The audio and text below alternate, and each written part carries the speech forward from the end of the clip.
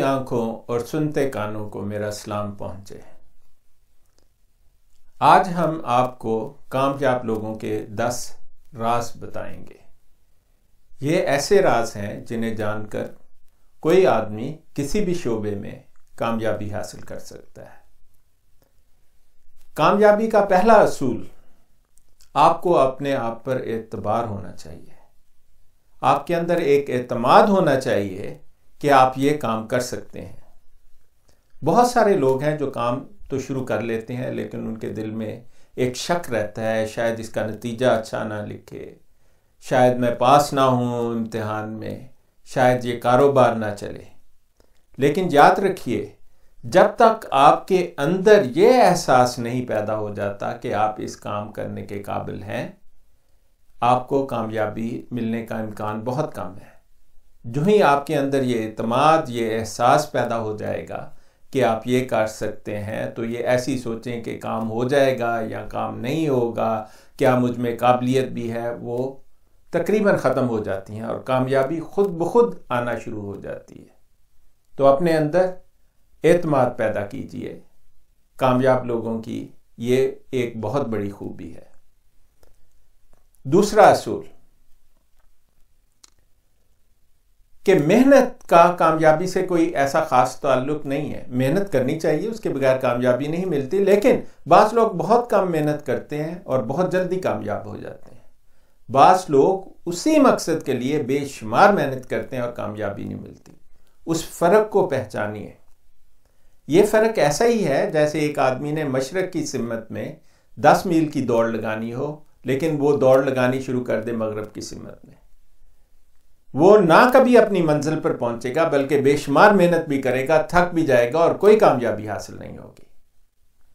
कहने का मकसद है कि कामयाबी हासिल करने के लिए एक मंसूबा बनाएँ, उसको कागज़ पर लिखें, उन लोगों से मिलें जो ये काम कर चुके हैं। और फिर जब आपका मंसूबा तैयार हो जाए तो फिर उस पर अमल करना शुरू करें। ये वो दस मील की दौड़ होगी जो आप जीत जाएँगे। तीसरा असूल कामयाब लोगों का यह है कि आपके अंदर एक क्रिएटिव पावर एक नया आइडिया एक नई चीज़ के साथ तख्लीक की भी ताकत हो। इसकी मिसाल ऐसे ही है कि जब बुलेट ट्रेन बनी जापान में तो उन्होंने एक सुरंग खोदी उसके ट्रैक के दरमियान, जिसमें से पानी का चश्मा निकल आया और बेशुमार पानी इकट्ठा हो गया। उन्होंने बहुत सारी कंपनियों को कहा, जी, ये पानी हमें नहीं चाहिए, इसको निकालना है। तो कंपनियों ने ऐसा किया कि उन्हें लंबे लंबे बिल भेजे। उसी कंपनी में एक आदमी काम करता था, उसने पानी पिया तो वो बहुत मीठा था, चश्मे का था, मिनरल वाटर था। उसने अपनी कंपनी से कहा, तुम ऐसा करो, इसे बोतलों में बंद करो, बेचना शुरू कर दो।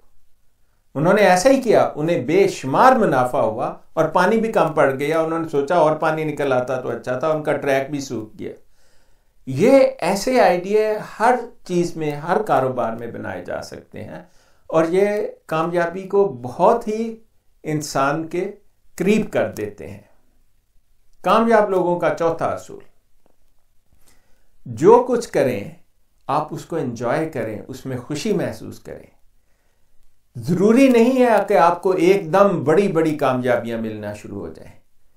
जो शख्स मेहनत करता है और ठीक सिमत में मेहनत करता है, उसको छोटी छोटी कामयाबियाँ फ़ौरन मिलना शुरू हो जाती हैं। आप उन कामयाबियों को पहचानें, उनमें खुशी महसूस करें। अगर आप कारोबार कर रहे हैं तो थोड़ा सा पैसा आपको मिल गया है तो वो एक कामयाबी है।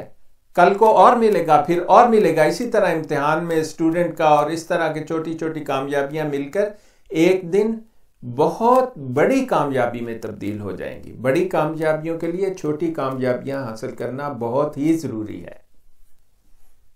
पांचवा असूल।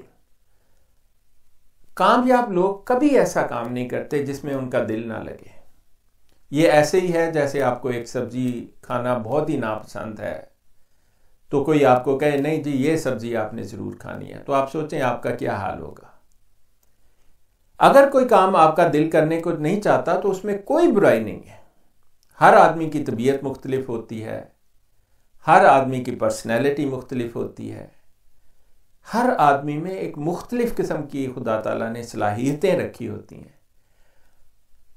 अगर आप में अल्लाह ताला ने कोई सलाहियत रखी है तो आप उसी से मिलता जुलता काम शुरू करेंगे तो आपको उसमें बहुत मज़ा आएगा। आप उसमें आसानी महसूस करेंगे। और एक बात याद रखनी चाहिए, जब हम 18 साल या उससे ज़्यादा हो जाते हैं तो हमारे में एक ऐसी शख्सियत जन्म लेती है, जिसको बदलना बड़ा मुश्किल होता है। तो आप अपने मुताबिक ऐसा काम शुरू करें या ऐसा काम करें, जिसमें आपको मज़ा आता हो। उसमें कामयाबी का इम्कान बहुत ज़्यादा बढ़ जाता है। तो यही कामयाब लोगों का एक बहुत बड़ा रास है।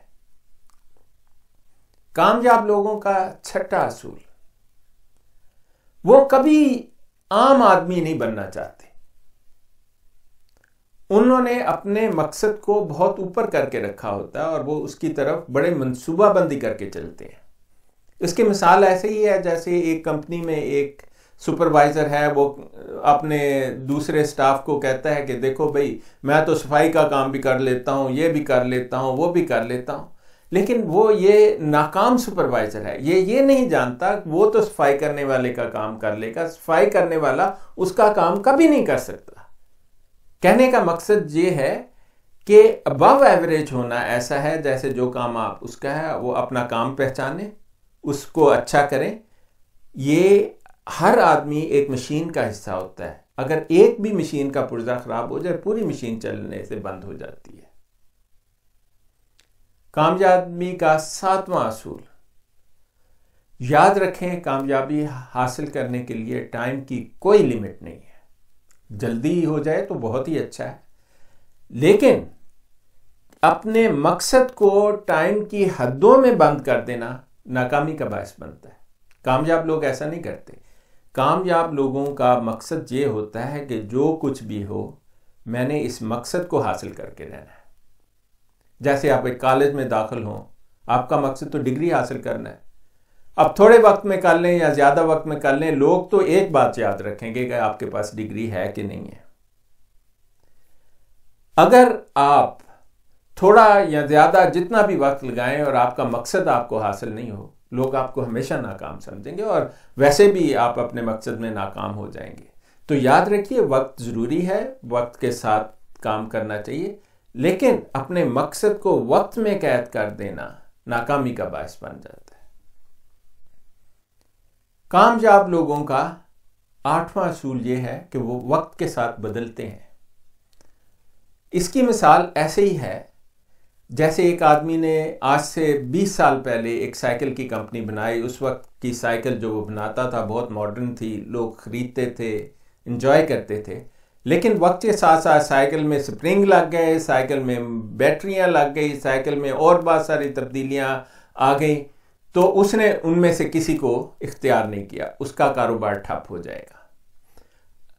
कारोबार या कोई भी मकसद जो आप हासिल करना चाहते हैं, उसमें वक्त के साथ चलें। वक्त के साथ लाई गई तब्दीलियाँ आप उसमें लाएँ। इसीलिए मैंने आपको ये दूसरा और तीसरा रूल दोबारा दिखाया है। वक्त के साथ साथ लाई गई तब्दीलियों जो हैं, उनके लिए ज़रूरी है कि आप एक ख़ास डायरेक्शन में मेहनत करें। आप आइडेंटिफाई करें कि मेहनत कहाँ करनी है और फिर क्रिएटिव हों। आठवां असूल ये है, जो पहले मैं बयान कर रहा था कि आप वक्त के साथ साथ बदलें और ऐसी तब्दीलियाँ लाएँ जो आपके कारोबार में नफे का बास अगला और नौवा असूल यह है कि ये कोई एक चीज़ नहीं होती जो आपकी कामयाबी या आपके मकसद को हासिल करने में काम करती है। ये एक से ज़्यादा चीज़ें हैं जो आपस में मिलके आपका आखिरी मकसद हासिल होगा। जैसे छोटी छोटी का, कामयाबियाँ जो आपको पढ़ाई में दो साल या तीन साल के दौरान मिलती हैं कारोबार में छोटे छोटे मुनाफा, जो छोटी छोटी कामयाबियाँ जो आप इकट्ठी होती जाती हैं, ये जब सब चीज़ें इकट्ठी होती हैं तो फिर एक कामयाबी और बड़ा मकसद हासिल होता है। कामयाब लोगों का दसवां असूल ये है कि वो अपने आप में, अपने कारोबार में तब्दीली लाते हैं। तब्दीली लाना आसान काम नहीं है। आप इश्तहार देखते हैं कि तीस सेकंड के अंदर अंदर बहुत मोटा आदमी बहुत पतला हो गया। ये फ़िल्मों और इश्तहार में तो हो सकता है आम ज़िंदगी में ऐसा नहीं होता है। आपको तब्दीली लाना मुमकिन है, लेकिन आसान नहीं है। जब आप अपना कारोबार की कामयाबी के लिए उसमें वक्त के साथ की तब्दीली लाना चाहें, या कोई और तब्दीली जो आपने रिसर्च करके और सोच बाल के सोची है तो आपका दिमाग इस बात पर कंसंट्रेट करे कि ये तब्दीली को मैंने हासिल करना है। ये नहीं कि थोड़े दिनों में या थोड़े वक्त में आपको तब्दीली हासिल नहीं हुई तो आप परेशान होकर बैठ जाएँ कि ये मेरे साथ क्या हो गया, मेरा तो काम ही नहीं हो रहा, तब्दीली नहीं आ रही। तब्दीली लाना एक मुश्किल काम होता है। इसमें वक्त लगता है और आप वो वक्त इस पर लगाएँ। और जैसे मैंने पहले बताया कि किसी मकसद को वक्त में कैद कर देना कामयाबी की अलामत नहीं है। जाने से पहले आप हमारे चैनल को सब्सक्राइब करें। लाइक कर दें और हम आपको ऐसी वीडियोस और बनाकर इन दिखाते रहेंगे। अपना ख्याल रखिए।